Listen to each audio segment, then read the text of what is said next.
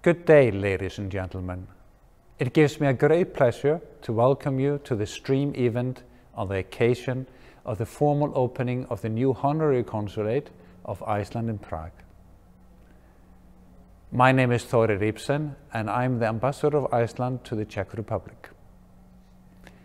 I take this opportunity to congratulate the new honorary consul of Iceland, Mrs. Klara Dvořáková, on this occasion. We regret, of course, that we could not host this at the office of Holubová advokáti, the new address of the honorary consulate. The reason, of course, being the COVID epidemic.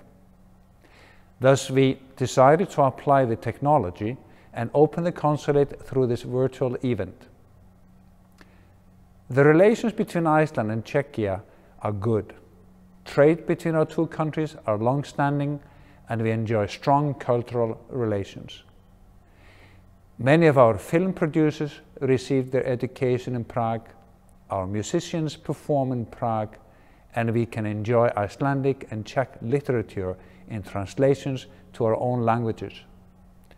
Tourism has also been growing between the two countries, and I'm confident that it will continue after the COVID epidemic will be brought to an end. Quite many Icelanders live and work in the Czech Republic, and the number of Czech citizens living and working in Iceland has grown fast in recent years. I believe, therefore, that there are much more opportunities for business and people-to-people -people relations between our two countries. In this context, I want to mention the EEA grants, which have provided financial support for quite many cooperation projects between Icelandic and Czech schools, institutions, companies, and individuals. These projects have both built new relations between us and solidified old ones. So far, the cooperation has been strongest in the areas of education, culture, research and gender equality, but I believe that the EEA grants can in the future help us create joint opportunities in other areas. I think of such areas as research and innovation, green growth, and business development, as well as in the areas of smart cities, energy, climate change, and the environment. Iceland does not have resident embassy in Czech Republic which makes the honorary consulate in Prague even more important for fostering our relationship and for seizing future opportunities for strengthening our further cooperation. Indeed, Consul Dvořáková has been very active in taking care of Iceland's interests ever since she was formally appointed. She has built relations with Icelanders in Czechia and is always on the lookout for opportunities for promoting Iceland.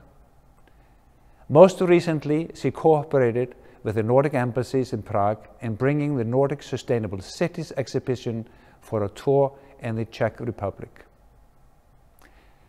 I take this opportunity to thank the former Honorary Consul of Iceland, Mr. Þórir Gunnarsson, for his pioneering work in Prague.